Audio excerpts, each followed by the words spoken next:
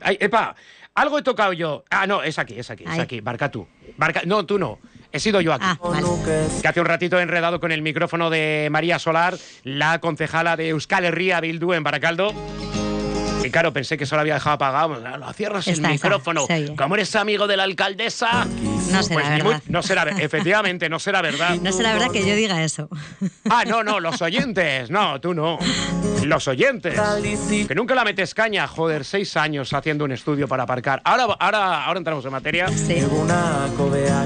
Y es una lanza que rompo en favor de los cientos de oyentes que tiene esta radio, de gente que va en movimiento, en coches, furgonetas, empresarios, pequeños eh, negocios, comercios. Y es que no es un problema menor, ¿eh? Es verdad que hay un, Que no, pro- que es, hay- hay que un- hay es un problema con- muy serio para la cuarta ciudad de Euskadi. En ese sentido, sí. que se las ven y se las desean los que vienen a repartir a, a- a pequeños comercios. A la hora Mm. Sí. de aparcar una furgoneta un rato, a ver, que no me refiero yo que dejen aparcada la furgoneta todo el puñetero día, Sí. pero pon un reloj como hacen en Bilbao en unas ciudades que alardeamos de los coleguitas de otros lados y lo nuestro, bueno, Sí, a ahora ver, desde, desde el punto de vista de, de reorganización de ciudad, habría que dar una vuelta un poco a todos los sentidos, viendo cuáles son las necesidades. Bueno, te presento ya, ¿no? Preséntame, venga, que yo si no entro en materia No, enseguida. ya te veo, ya te veo. Iba, iba a poner un trocito de la canción de, de este grupo, de Entol Sarmiento, que es como se llaman, para saludar a María.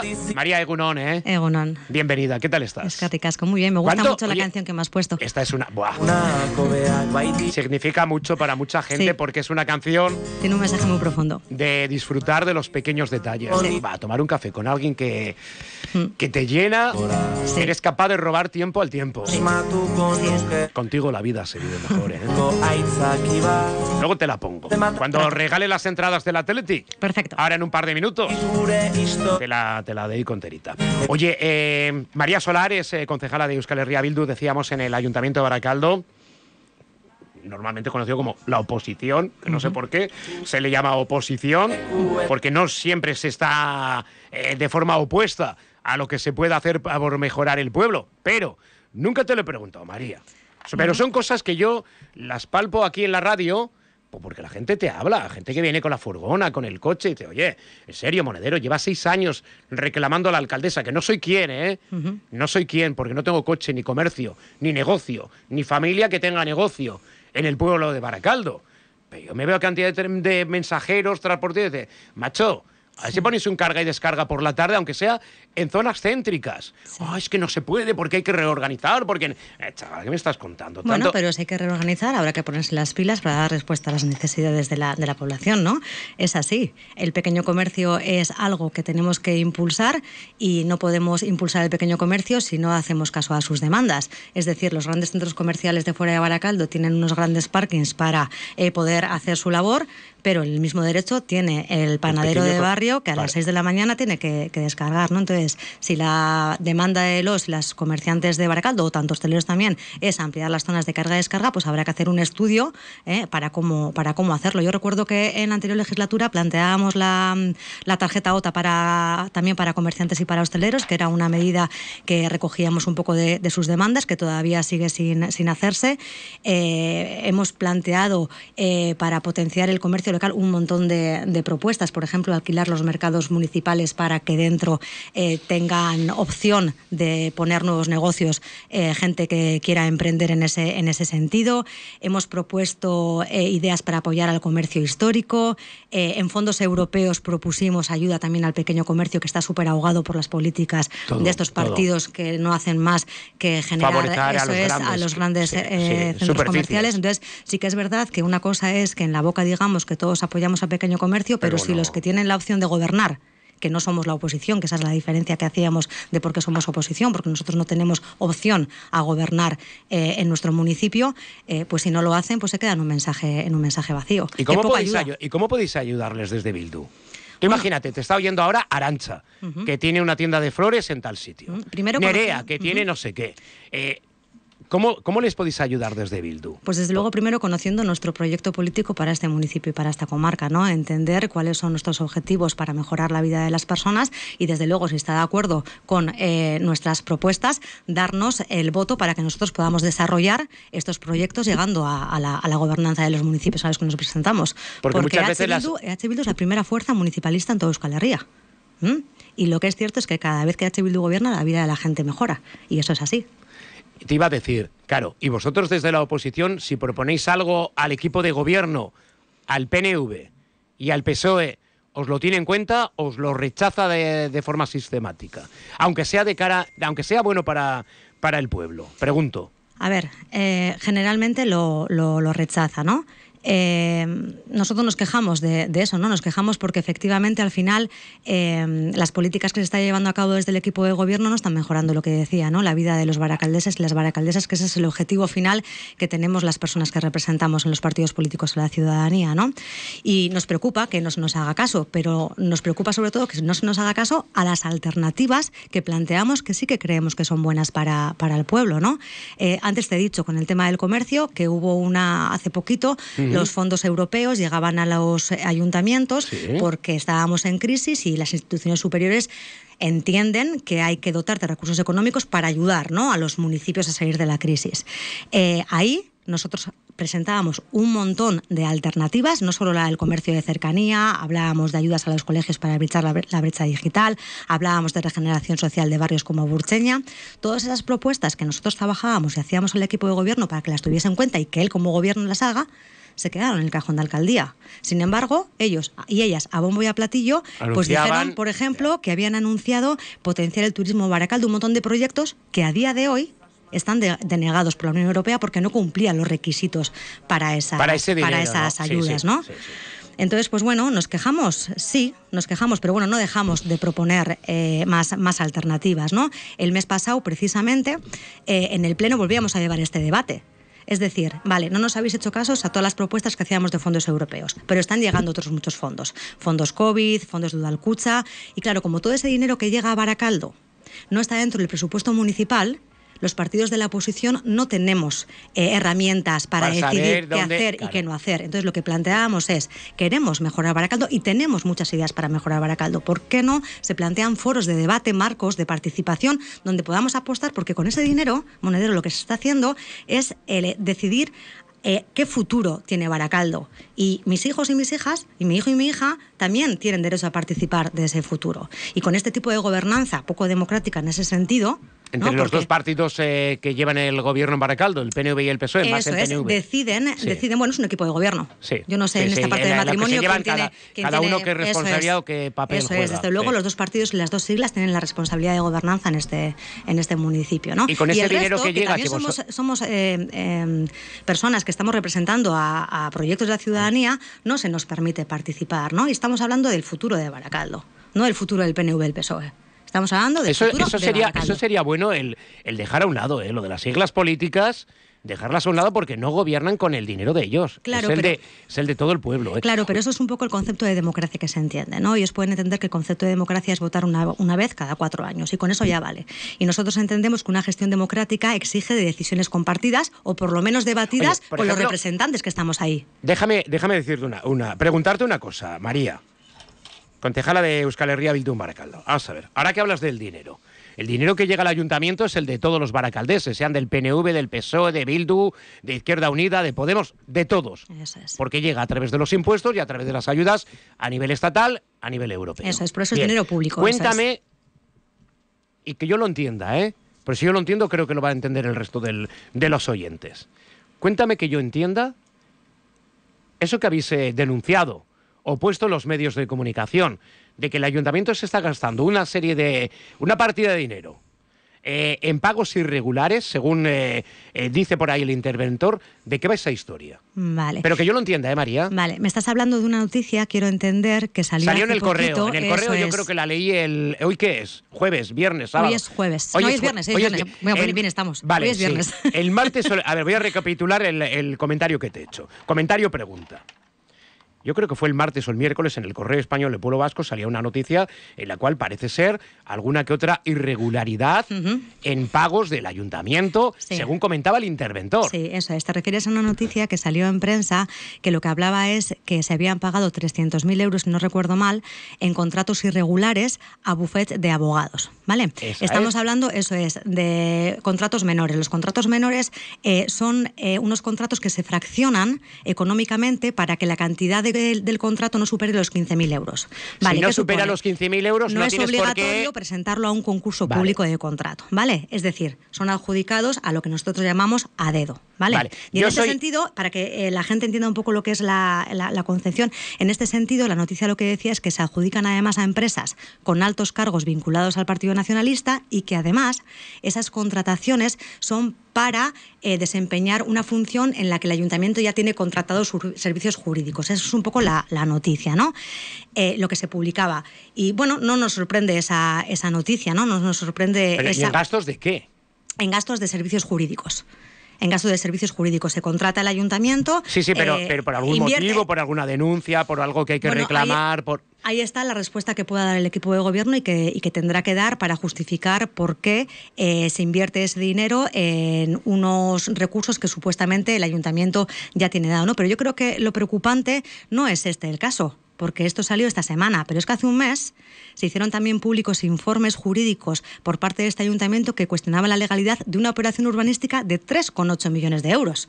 Que 300.000 euros es dinero, pero 3,8 millones de euros hace mm, un par de meses otro informe jurídico que ponía encima de la mesa el interventor diciendo que habría que evaluar la legalidad. Hace unos meses, perdona, porque creo que es importante decir esto, ya decíamos aquí que estábamos aprobando un presupuesto municipal mal calculado que tiene que ser modificado mes a mes a través de créditos, créditos adicionales, también a veces con informes contrarios. Es súper habitual y eso cualquier... estás hablando de mucho dinero. Claro, cualquier cualquier persona que trabaje en movimiento asociativo sabe que todas las subvenciones en este ayuntamiento se dan sin que entren a concurso. Es decir, un poco también eh, a, dedo, ¿no? Ahora mismo tenemos una investigación abierta por 25 contratos en dos meses por valor de 145.000 euros por parte de Baracaldo Quirolac. Entonces, ¿qué es lo que nosotras decimos? Pues no sabemos si estas operaciones están dentro o no de la legalidad pero que desde luego suponen dudas. y cuando, que cuando el perdona María, que es para que lo entienda yo.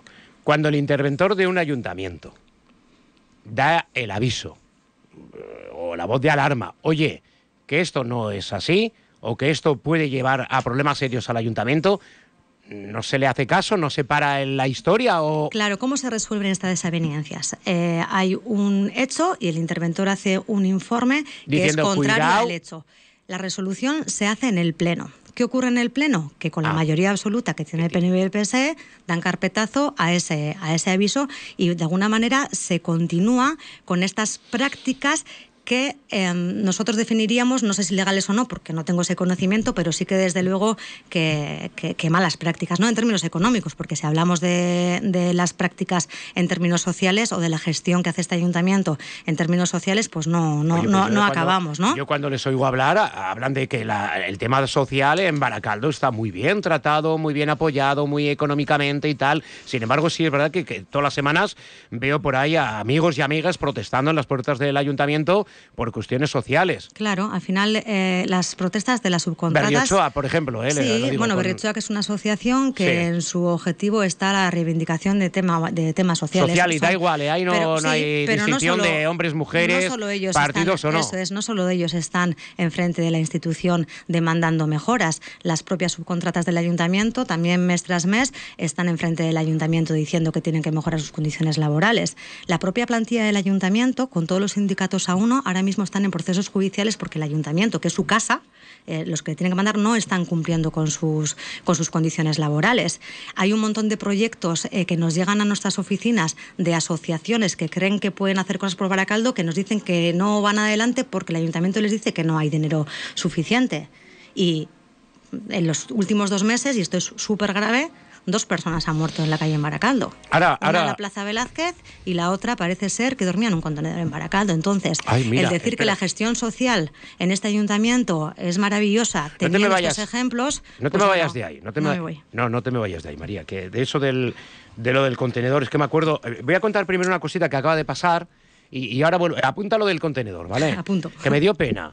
Además le voy a Coro Mendieta hablar de una persona, el cuerpo sin vida de un chaval que había aparecido en un vertedero yo me acordé de otro amigo de Castro que le andan buscando y luego pregunté, digo, oye, ese tema ya no se ha vuelto a tratar y tal, a tocar. Me dice, jo, pues parece ser que es un chico inmigrante que salía del hospital y que al final el cuerpo sin vida ha aparecido en el vertedero este municipal pero como un chaval. Sea lo que sea, es un hecho muy triste y muy grave. Estamos hablando de la vida de una persona. Voy a contar una cosita que pasó en Baracaldo ahora mismo, para los conductores, vecinos y vecinas de cruces, porque esto ha sido ahora mismo. La policía local de Baracaldo ha procedido a cortar la calle a la altura del número 5 de la calle Valejo. Valejo es según subimos de Luchana para arriba. Según subimos la cuesta de Luchana, en un lateral estaba el parking que ahora están ahí removiendo y enfrente está la calle Valejo, que está la pequeña bolera esa y tal, ¿no? Eh, la policía local de Baracaldo ha procedido a cortar la calle a la altura del número 5 de la calle Valejo en Cruces, ante el riesgo de desprendimiento de la fachada de un edificio que está en obras, según ha informado el área de seguridad ciudadana y la protección civil del Ayuntamiento de Baracaldo. Se ha acordonado la zona y se está procediendo a desviar el tráfico de los vehículos que salen del barrio de la Inmaculada enfrente de la Inmaculada, entonces en la cuesta, cerquita del Hospital de Cruces. Lo digo por si tenéis que circular por ahí. Ha sido necesario desalojar un bar y la peluquería de los bajos del edificio. No se ha desalojado a los vecinos y vecinas del inmueble, puesto que el riesgo, a priori, se encuentra en el exterior. El concejal de Seguridad Ciudadana, Ángel Madrazo, se encuentra en el lugar de los hechos y que en este momento, mira, preguntaba hace yo un ratito por él, pues mira, hoy ha aparecido. Eh, preguntaba por él por unos sucesos que por desgracia tuvieron otra vez a Baracaldo en boca de mucha gente, como son el tema de las agresiones y mil historias. Oye, lo del contenedor y con ello no me quiero, no te quiero extender mucho el tiempo, María.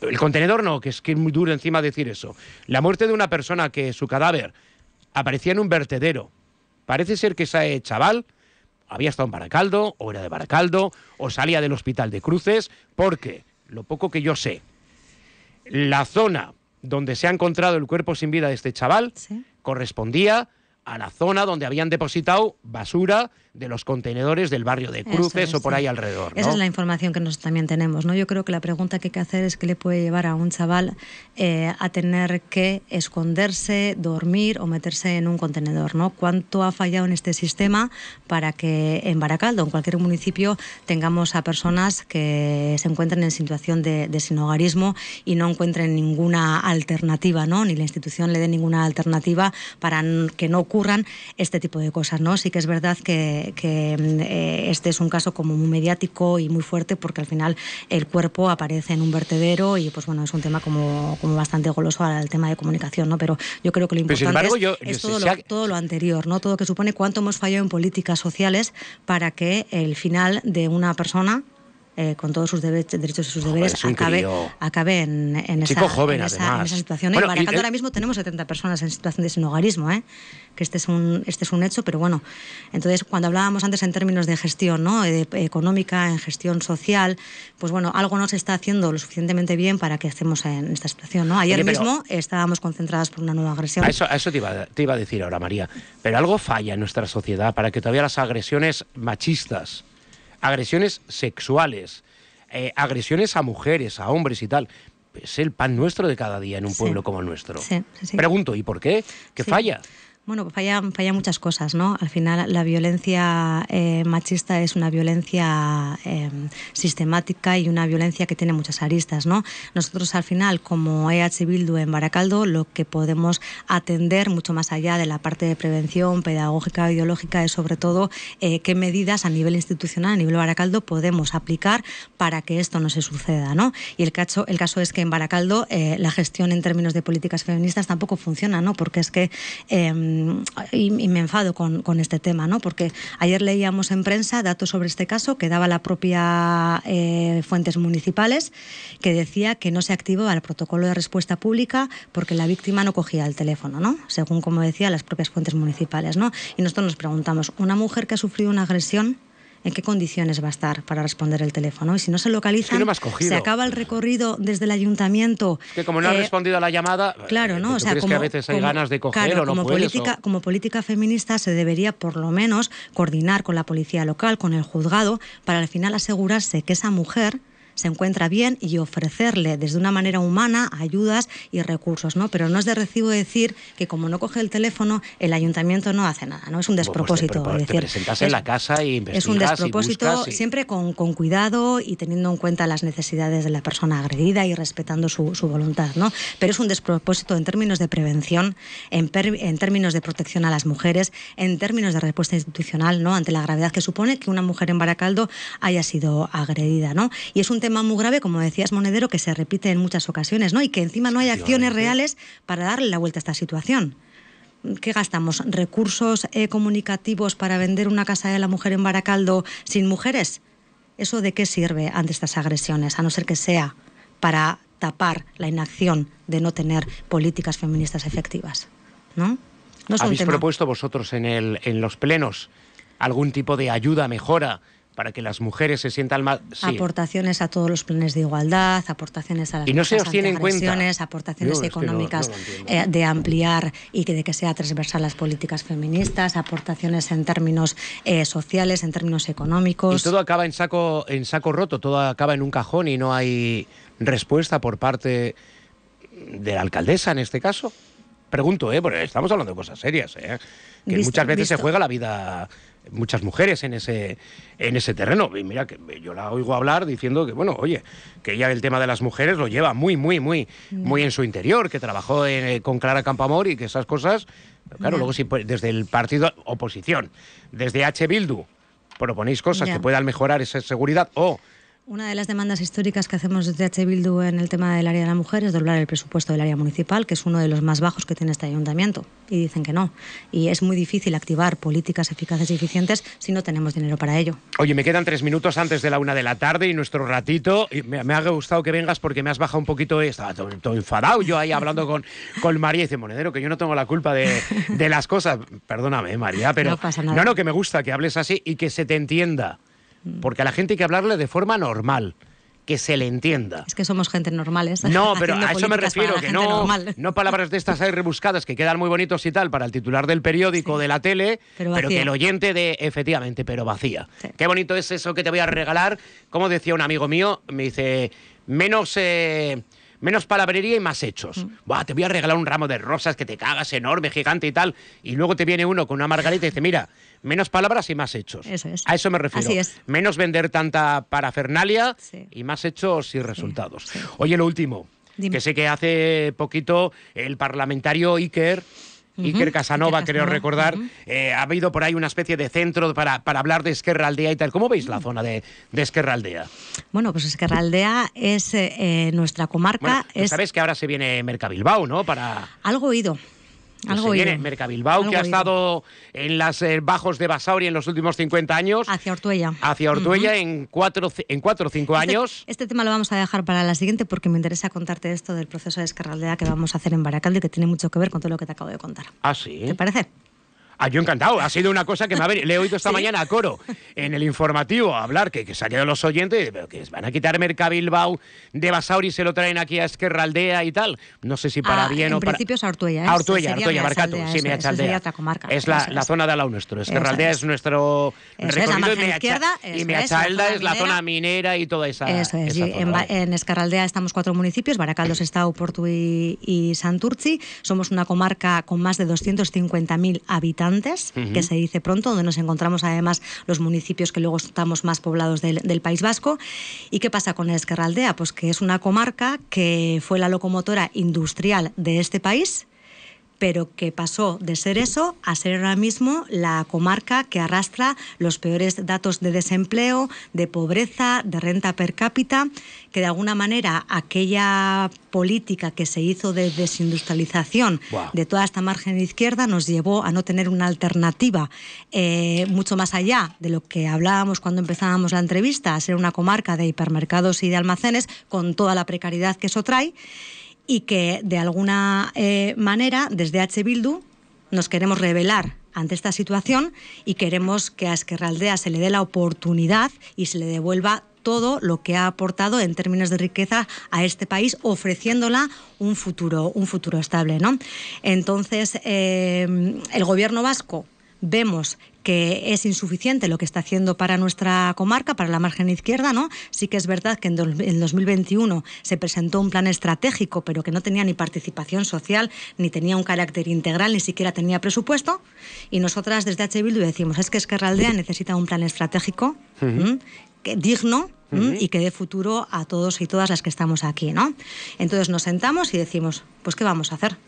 Pues vamos a hacer un proceso, un proceso muy ambicioso, ¿no? Eh, partiendo de la visión y la aportación de la propia gente que vivimos y trabajamos aquí. Es decir, si las instituciones no hacen nada por nosotras, nosotros nos vamos a poner en contacto, vamos a hablar, vamos a escuchar y vamos a ponernos en manos a la obra. Actualmente, ahora mismo, este mes, acabamos de empezar con más de 50 reuniones con agentes comarcales, agentes socioeconómicos, empresariales, sanitarios, sociales y tenemos ya previstas más de 200 reuniones con agentes de cada pueblo, de Santurci, de Porto, de Sestao, de, Baracaldo. ¿Qué queremos? Pues que ese, esas eh, entidades, esos sectores nos aporten cuál es el futuro que cree cada uno desde su ámbito para Esquerraldea eso lo vamos a complementar con un montón de informes y con un montón de propuestas de expertos que también nos ayuden de alguna manera a colocar eh, localmente cómo enfrentar los créditos, los, los, eh, em, los retos. Y después vamos a trabajar con las personas de nuestra comunidad para hacer un plan estratégico que sea una alternativa socioeconómica para revitalizar Escarraldea. Ese es nuestro objetivo. Fuera parte del trabajo que hacéis eh, a nivel de cada municipio. Eso es. En el caso de, María Solar, en Baracaldo, en el caso de Portugalete, otro compañero, creo que era Iker, Iker, Iker. en el caso de Sestao o de Santurchi. Eh, fuera parte de que trabajéis para cada municipio, el uniros para ver la demanda que en, eh, engloba o en grupo tendría lo que es la margen izquierda, Santurchi, Portus, Estado y Baracaldo. Eso es, porque nos une mucho y hay una demanda y una, una deuda Oye, pero lo que tú has dicho, no, no, yo eso lo he dicho siempre, empezó con el PSOE, con Felipe González, el tema de la desindustrialización y las crisis económicas que tuvimos en la década, quedó recordar 90, en los 90, eh, con el cierre de, ciento de empresas y empezó con el PSOE. Sí, al final los eh, partidos de aquí y de allí lo que han hecho ha sido llevarnos la comarca, que era puntera. No, que era eh, el motor de toda la riqueza a, toda Euskal Herria. Eh, en el tema de la industria, de no sé qué, va una ciudad bonita y tal, sí, no te digo que no, pero, pero hay, ojo, eh, que ha habido gente que ha ¿eh? dejado los hay riñones. Futuro y hay proyecto para Esquerraldea fuera de los que lo quieren hacer vender los que nos están gobernando, en términos medioambientales, con un modelo industrial renovado, en términos sociales y de igualdad, que dé respuesta a los verdaderos retos de la juventud. O sea, hay proyecto para, para Esquerraldea y por eso nos hemos puesto a ellos desde, desde H. Bildu, ¿no? Porque queremos que hay que revertir esta situación y devolver a la margen izquierda lo que, lo que se merece, ¿no? Y en ese proceso nos hemos aventurado ahora, ¿no? Siempre aportando, siempre con ganas de, mejorar la vida de la gente, que ese es nuestro, nuestro objetivo. ¿Vas a volver? Sí. A ver, no le he despedido todavía, pero vamos. le digo, oye, Volveremos. ¿Qué, ¿Qué, película decían eso? ¿La de Volveremos? Volver. No, no, que esa no. Volveremos, no me acuerdo de quién. Eh, una y dos minutos de la tarde. María Solares, concejala de Euskal Herria Bildu en Baracaldo. Claro, desde el mundo político las cosas se ven de una manera. Desde el lado de los ciudadanos, es que todos hacen lo mismo, es que no hacen nada, es que unos nos prometen una cosa, otros nos prometen otra, y luego al final Monedero da la razón en el tema del aparcamiento. Pero si es que yo lo de, yo de verdad que soy pesado. Me acuerdo un día que vino Tonchu y yo le, le hablaba de los puñeteros contenedores de recogida basuras que ponían todos los cruces y tenías que sacar el coche hasta mitad. Y no tengo coche. Pero me lo contaban los oyentes de Mone. Es que este, este señor, bueno, él no, en este caso era, ¿cómo se llama aquel concejal que hubo? Bueno, uno. De urbanismo y tal, que no quiero recordar como Don Quijote. De hecho, tenía cierto parecido con la perilla. Y me acuerdo que lo dije aquí en la radio y te juro, esto os lo juro que fue textualmente así alguien le llamó a Tonchu, que estaba con una ministra en, no sé si en Portu o en, en Buenavista y tal, y me llamó y dice, Monedero, estoy de los contenedores hasta los cojones. Y me quedé así, digo, pero a ver, digo, si hay una queja de un vecino y tal, me dice, ni quejas ni hostias. Tal cual, ¿eh? Os lo digo en serio, ya sé que tengo el micrófono abierto, ya, ya lo sé. Y claro, y todo era porque eh, cuando se planteó el poner los contenedores de recogida basura, no es lo mismo una persona que está en un coche conduciendo a que te lleve alguien, gracias María, eh, a que te lleve alguien o cojas el autobús o, o vivas en la calle.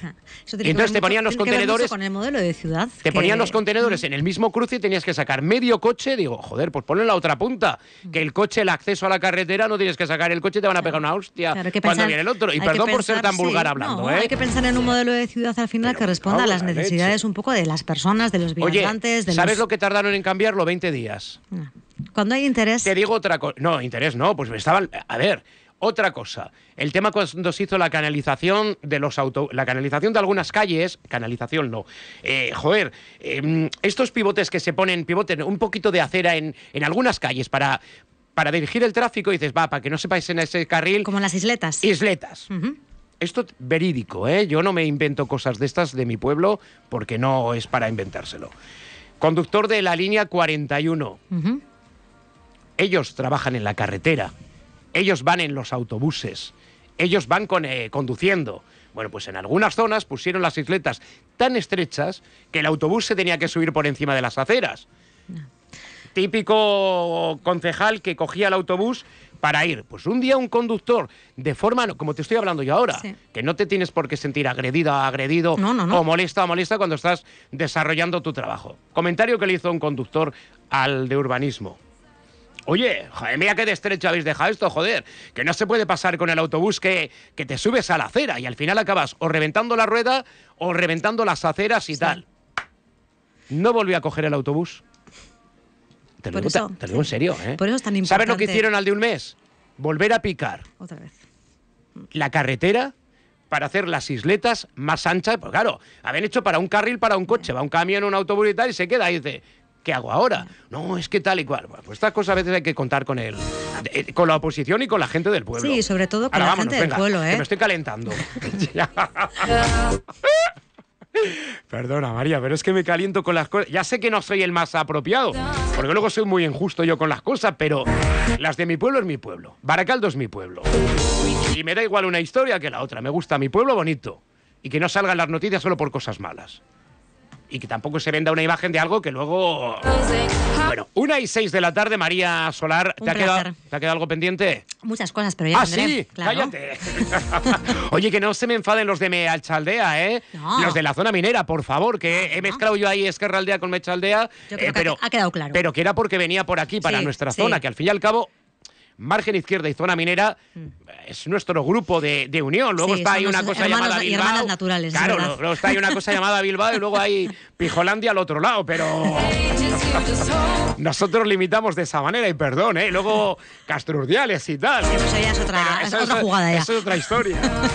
María, un auténtico placer. Es que ricasco, nos Gracias, vemos. bye, Venga, un agur. beso. Agur. Vas a ver qué bronca te va a caer, monedero. Vas a llenar el mar de lágrimas en un día como el de hoy.